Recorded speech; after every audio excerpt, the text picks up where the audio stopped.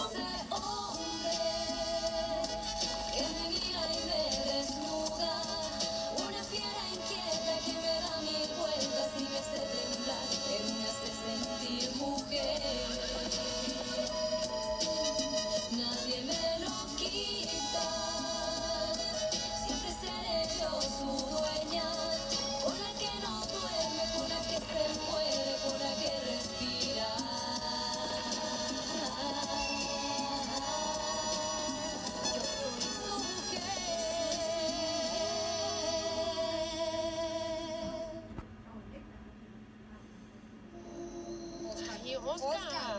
Acepta que en este momento estás muy ofuscado y no sabes ni lo que dices ni lo que haces. ¿Cómo no voy a saberlo? Claro que lo sé. Usted no va a ir a ninguna parte y mucho menos se va a separar de sus hermanos. Eva, Oscar. algún día tenía que separarme de ellos y parece que ese día ya llegó. ¿Quién dijo que teníamos que permanecer unidos toda la vida? A ver. no. En este momento estás demasiado nervioso. Lo que tienes que hacer es acostarte a dormir, no pensar en nada.